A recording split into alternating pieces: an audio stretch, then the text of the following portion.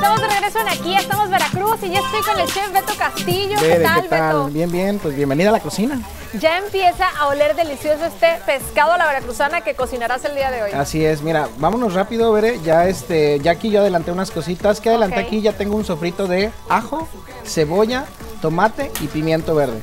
¿Sale? Es bien importante que en este tipo de recetas que tienen necesitamos darles su tiempo de cocción para que nos den esos sabores que realmente estamos esperando. ¿Sale? Entonces ya una vez que tenemos ese sofrito, lo siguiente que vamos a hacer va a ser poner nuestro eh, puré de jitomate. Ok. ¿Sale? Y vamos a poner también nuestras aceitunas.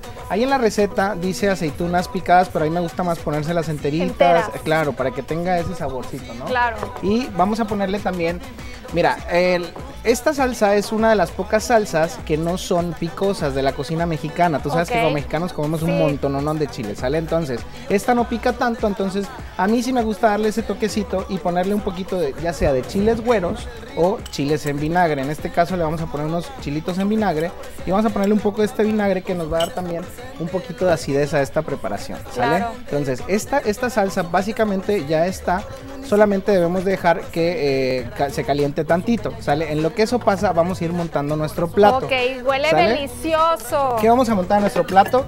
Vamos a ocupar, como ya les había dicho, pescado, ¿sale? Entonces yo ya aquí tenía estos lomitos de pescado. Este es un pescado tilapia, puede ser del que guste en casa. Normalmente se utiliza el guachinango, ¿sale? Por, pues por el tipo de carne y la fineza del pescado, ¿sale? Entonces ya tenemos ahí nuestro filetito de pescado. Y lo siguiente que voy a hacer es, con este perejil, solamente se lo voy a poner Al ya que está rompiendo el hervor, sí, solamente para que le dé ese saborcito, ¿sale? Entonces, vamos a mezclar esto y en este mismo recipiente yo lo que voy a hacer es, con, eh, eh, con ayuda de una cucharita, vamos a poner el arroz. Este tip me encanta. Sí. Cualquier cosita que tengan ustedes más o menos parecida a esta, le da una muy buena correcto, presentación a sus correcto, platillos. A los platos y bueno, quedas súper bien con tus invitados. Entonces aquí ya nada más aplastamos nosotros tantito para que el arroz se compacte, ¿sí? Y lo vamos a pasar a este lado del plato, ¿sale? Levantamos y ya queda ahí nuestra formita del arroz y yo lo que hago es poner un poquito de perejil, nada más para darle ahí colorcito. Y esta salsa ya está, mira, ya está hirviendo.